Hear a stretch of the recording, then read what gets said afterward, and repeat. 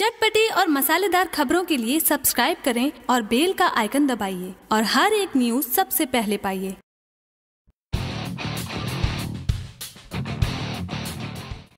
भोजपुरी फ़िल्मों के सुपरस्टार खेसारी, लाल यादव और हॉट अदाकारा काजल राधवानी अभिनीत भोजपुरी फ़िल्म मुकद्दर का फ़र्स्ट लुक जारी कर दिया गया है। फ़र्स्ट लुक जारी होते ही सोशल मीडिया पर भारी मात्रा में शेयर भी किया जा रहा है और दर्शकों का फ़िल्म का पहला पोस्टर बेहद ही ज़्यादा पसंद आ रहा है। इसी कड़ी में सुपरस्टार खेसारी, लाल यादव के फैंस के लिए एक बहुत ही बड़ी खुशखबरी आ रही है। जी हाँ खबर आ रही है की मुकद्दर में सनी लियोन का आइटम सॉन्ग तड़का होने जा रहा है। इसके लिए फ़िल्म के मेकर से बातचीत चल रही है। फ़िलहाल यह खबर कितना सच है यह तो खेसारी लाल यादव और फ़िल्म के मेकर्स ही बता पाएँगे। अगर ऐसा होता है तो खेसारी लाल यादव की फ़िल्म मुकद्दर को सुपर हिट होने से कोई नहीं रोक सकता। मुकद्दर का फ़र्स्ट लुक, पोस्टर की लोग जम के तारीफ़ भी कर रहे हैं इस पोस्टर में। खेसारी लाल यादव और काजल राधवानी का रोमांटिक अंदाज पोस्टर में साफ़ साफ़ दिखाई दे रहा है।